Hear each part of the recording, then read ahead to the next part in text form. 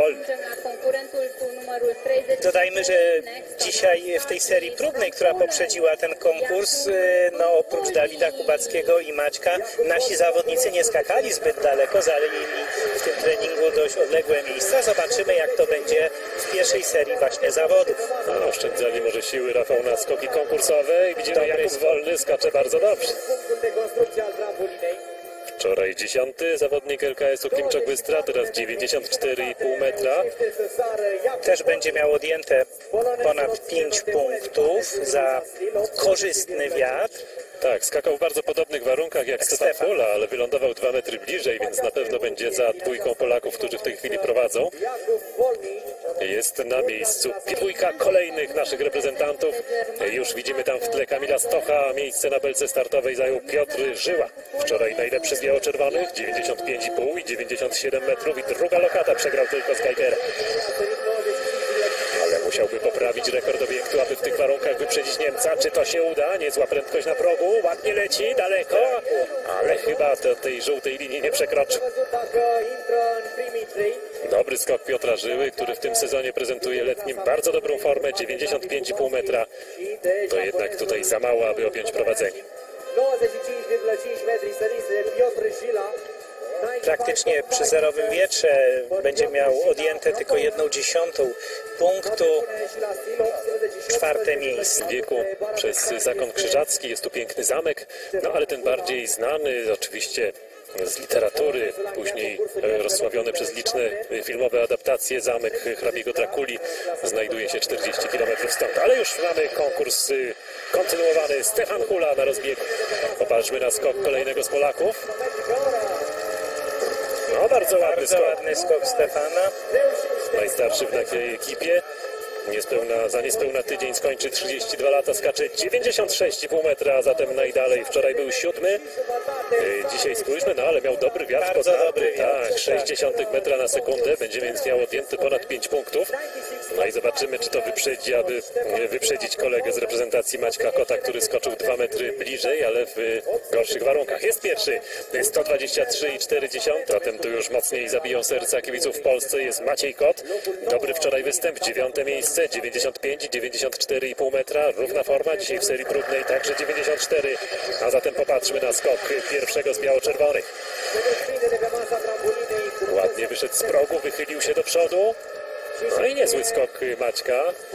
Nie wyprzedzi chyba prowadzącego Stefana Laje. Około 94 metra chyba. Tak, 94,5. Miał wiatr tylko jedną dziesiątą metra na sekundę pod narty. Będzie więc miał tylko jeden punkt odjęty. Widzieliśmy trenera Stefana Horngachera. Jakby chciał pomóc naszemu zawodnikowi, też tam wykonał taki ruch na tym gnieździe trenerskim, jakby sam wychodził z progu. Dobrze trafił na próg Maciek i jest liderem. 122 punkty, o dwie dziesiąte. Dziewiąty jest w punktacji generalnej cyklu Grand Prix, ale dzisiaj kołdelki nie zobaczymy. Już skacze kolejny zawodnik. Kołdelka zdyskwalifikowany. No, sporo tych dyskwalifikacji, już chyba ponad pięć. Nie przestałem już liczyć, ilu tych zawodników zdyskwalifikowanych. Później to sprawdzimy. Popatrzmy teraz na skok Dawida Kubackiego. Wczoraj czwarty, dzisiaj drugi w serii próbnej. Dobrze wyszedł z progu. Ładny, spokojny lot i daleki. I Dawid Kubacki powinien być nowym liderem. Zadowolony z tego swojego skoku. Dobrze się czuje tutaj na tym obiekcie. Jako jedyny w piątek na treningach lądował na setnym metrze. Teraz 98, a zatem najdalej. No i Stefan Horngacher może być zadowolony. Musi objąć prowadzenie. Ma odjęte tylko 2,3 dzie- punkta.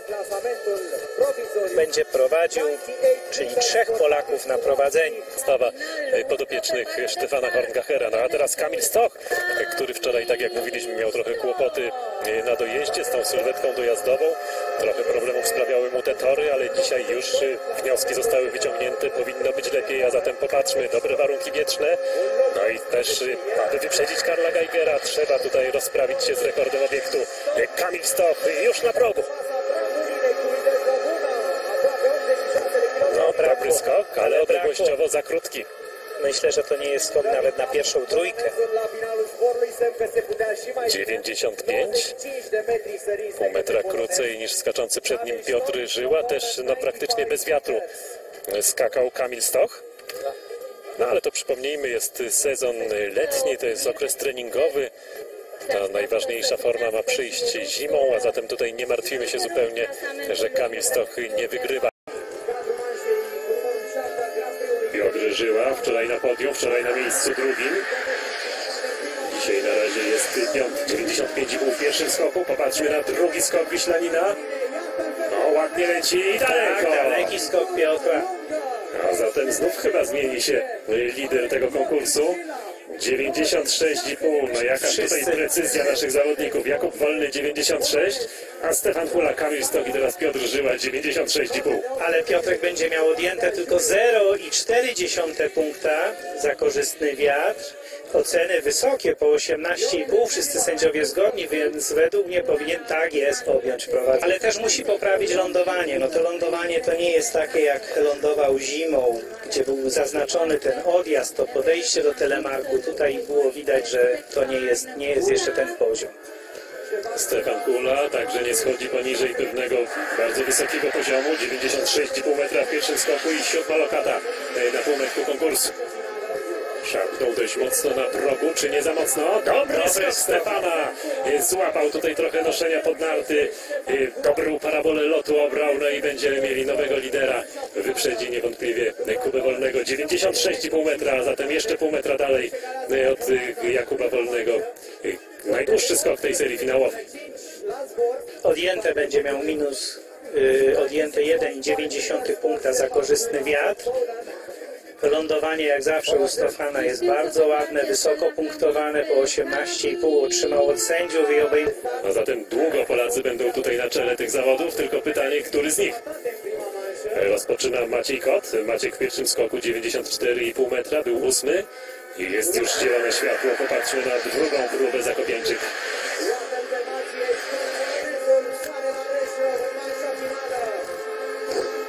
Bardzo ładnie. Dobry skok Maćka. Zobaczymy.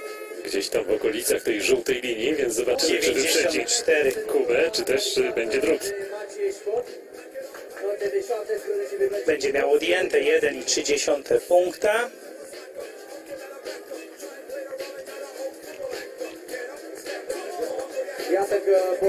Troszkę niezadowolony, jakiś lekki niedosyt nowojednałowy i Dawid Kubacki, on w pierwszym skoku e, poszybował najdalej z Polaków na 98 metr.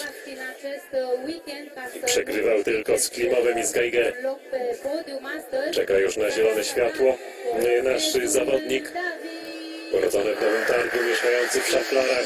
I Jest już zielone światło i Dawid Kubacki na progu. Popatrzmy na jego drugi skok. Bardzo, prędkość. bardzo dobra prędkość na ładnie. obejmuje prowadzenie bezdyskusyjnie. A zatem będziemy mieli czwórkę Polaków na czterech czołowych lokatach. Kobayashi będzie piąty, Jakub Wolny szósty. Spadnie na miejsce ósme, ale cała szóstka dzisiaj na w czołowej dziesiątce. Jeszcze takiego konkursu w historii nie było. Bardzo dobry konkurs ułożył się dla nas. No, sześciu zawodników w dziesiątce. Możemy już powiedzieć, że na pewno też na podium będą nasi zawodnicy. Przynajmniej jeden. Czekać na skok swoich kolegów. Za chwilę Kamil Stok, a po nim Piotr Żyła.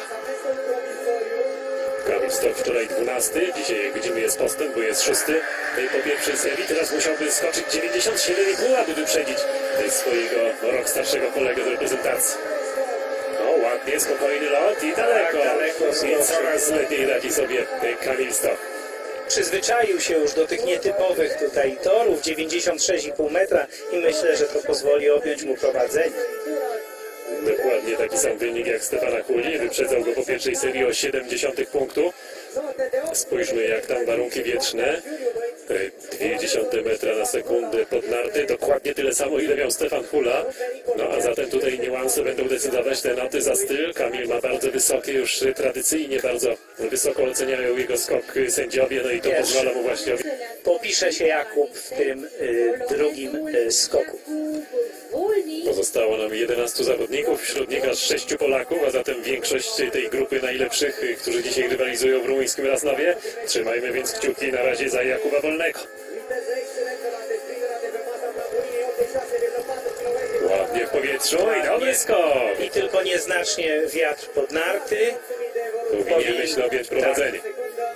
Tylko jeden punkt będzie mu odjęty, 96 metrów. Najdalej w tej serii finałowej Brawa zatem dla Jakuba Wolnego, naszego mistrza świata juniorów sprzed kilku sezonów. Później zmagał się z kontuzją, no ale teraz już widać wrócił na te najwyższe obroty i już dołączył do tej naszej eksportowej piątki. Jest pewnym szóstym punktem w naszej reprezentacji. I obejmuje prowadzenie. Sędziowie zgodni, wszyscy po